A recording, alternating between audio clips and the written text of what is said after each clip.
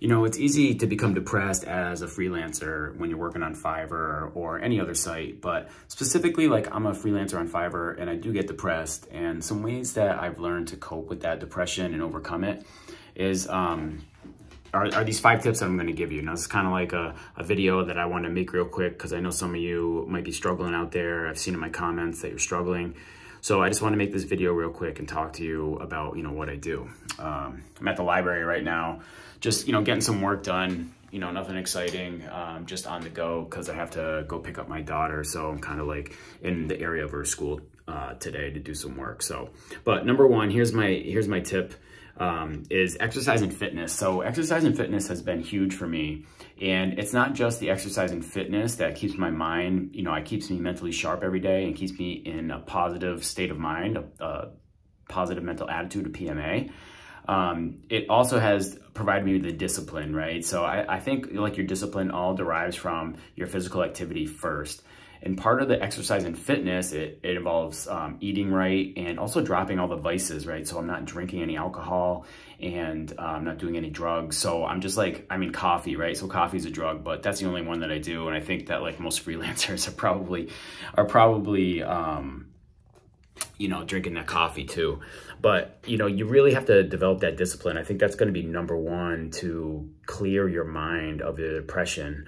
Um, I do a lot of this stuff on you know, on my social media. So like on Facebook and Instagram, why don't you follow me on Instagram if you need some help with like guidance as far as, uh, as far as like uh, the mental mindset and exercise. And I talk a lot about my daily process there. So um, let's move on to the next one. So number two is um, don't, you know, don't compare yourself to others or beat yourself up because you're, because you're not busy and you feel like other people might be busy.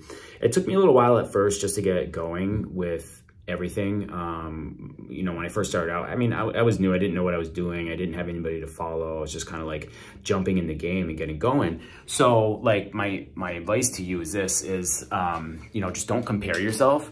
What you need to do is just, just, um, push yourself, right? Like always become better. Don't be like, oh, they're, they're getting more work than me. So I'm, I must be terrible or just don't beat yourself up. What I would do is just like push yourself to learn more. Like this is the time where you learn more. You learn more about to sharpen your skill level, learn more about how to build your profile to make it look better, um, uh, how to stand out from all your competitors.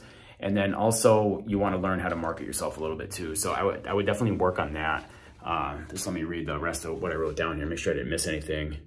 Um, so yeah, you know, instead of comparing yourself, instead keep a disciplined daily plan to increase your business, you know, set aside time every day to market yourself. So that's definitely that's definitely one of the big things, right? So if you follow these two so far, you should you shouldn't be depressed, right? You should be active and you're busy and you're and you're working.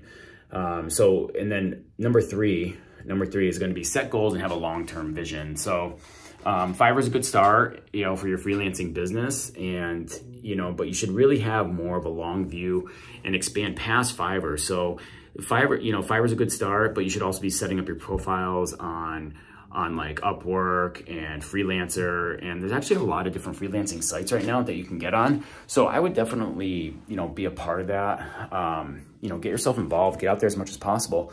And like I said, you know, from number two, marketing yourself, right? So long-term view, like, you know, you got to start treating this as a business and where do you want to go from here? You know, where do you want to see, where do you see yourself in a year? Where do you want to be in a year? And then where would you like to see yourself in five years? I know it sounds crazy to think that far ahead and, and it takes practice and this is still part of the mindset that I was talking about. But, um, you know, these are the type of things that will help you stay positive, not worry about like, uh, unnecessary evils like, oh, why is it like this? What, what am I doing wrong? Things like that. Just think about the future. When you're thinking about the future, you move towards the future, okay? And you're not even worried about what happened yesterday or what's happening today. You're just moving in the direction of that goal, which I think is going to be the, you know, one of the biggest things. I mean, this is what helps me. So I'm really like talking from a, a personal, you know, point of view here.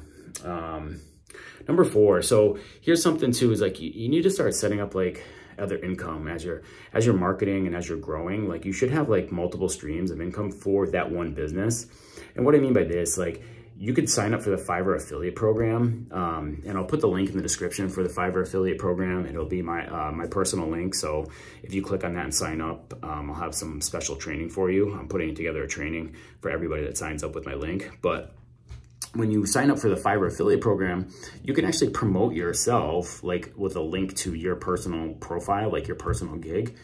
But let's say like you, you're promoting it and you get somebody to come over, right? And they come over to Fiverr, they click on your link, they're like, ah, oh, you know, maybe you're not what I'm looking for, or maybe they just want to look around. And then maybe they end up buying with somebody else, right? So normally that would be like wasted effort. Wow, I just brought a new customer over to Fiverr and they didn't even buy from me, right? It's like, so you did the marketing for free.